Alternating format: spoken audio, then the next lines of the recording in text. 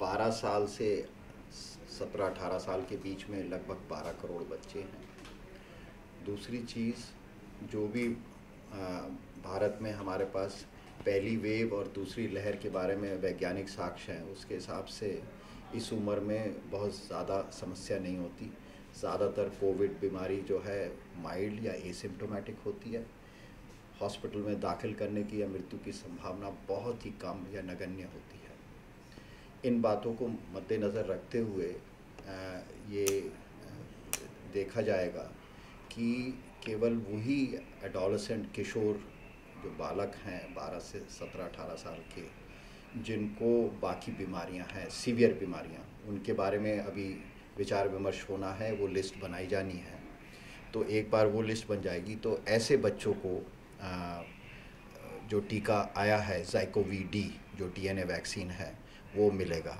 और बाकी जाइकोवी डी जो है आम जो टीकाकरण कार्यक्रम है उसके लिए प्रयोग किया जाएगा। हमारी पहली प्राथमिकता है कि सभी वयस्कों को इस साल के आखिर तक टीका मिल जाए। यानी कि सब जो बच्चे हैं 12 साल से ऊपर 12 से 17 जो है हालाँकि 18 से ऊपर तो लग ही रहा है ऐसे लोगों को जिनको कोई गंभीर बीमारी है सबसे पहले उनको प्राथमिकता दी जाएगी और बाकी जो अभी नॉर्मल वैक्सीनेशन चल रहा है, उनको दिया जाएगा। बिल्कुल ठीक कहा आपने कि इस समय जिन किशोरों में गंभीर बीमारियाँ हैं, केवल उन्हीं को प्राथमिकता तौर पे कोविड जाइकोविड डी वैक्सीन का टीका दिया जाएगा।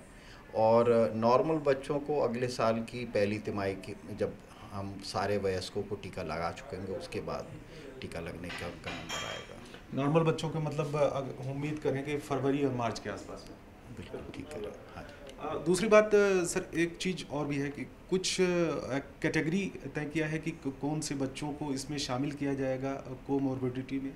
आ, उसके लिए हम लोगों की एंटैगी की मीटिंग होनी है और वो जल्द ही आप लोगों के सामने आ जाएगी। उसको हम सार्वजनिक कर देंगे कि किस तरीके से उन बच्चों तक पहुँचा जा सके और उन बच्चों को टीका लग सके। एक चीज़ को लेकर है कि कई राज्यों में बड़ी ही संशय की स्थिति है। कई राज्यों में तो स्कूल तो बड़े बच्चों के लिए तो खोल दिया है लेकिन छोटे बच्चों के लिए भी स्पेशली नहीं खोला है। तो उसके लिए क्या कहना चाहेंगे? स्कूल खोलने के लिए बच्चों को टीकाकरण की आवश्यकता नहीं है। आवश्यकता है कि जिन घरों में बच्चे हैं, वहाँ पर सभी माता पिता और घर के अन्य वयस्क को टीका लगवा लेना चाहिए और साथ ही साथ जिस स्कूल में जा रहे हैं, वहाँ पर टीचर्स और बाकी कर्मचारीगण, ड्राइवर, इन सबको टीका मिल जाना चाहिए। तो इस तरीके से बच्चा एक सुरक्षित आवरण में रहता है और बच्चों का जो मुख्य इस महामारी में जो हिस्सा रहा है कि वो खुद इतना बीमार नहीं होते, लेकिन इन्फेक्शन एक व्यक्ति से दूसरे व्यक्ति में हो जाता है और बच्चों से आपस में फैल करके बड़ों में फैलता है। तो अगर मैं उसको एक सुरक्षित रोग प्रतिरोधक टीके की वजह से अगर उसको मिलता है, आवरण मिलता है तो बच्चों को स्कूल खोले जा सकते हैं। उनकी बौद्धिक क्षमता के लिए, उनकी पढ़ाई के लिए ज़रूरी है कि स्कूल खोले जाएँ और टीकाकरण का इंतज़ार करने की आवश्यकता नहीं है।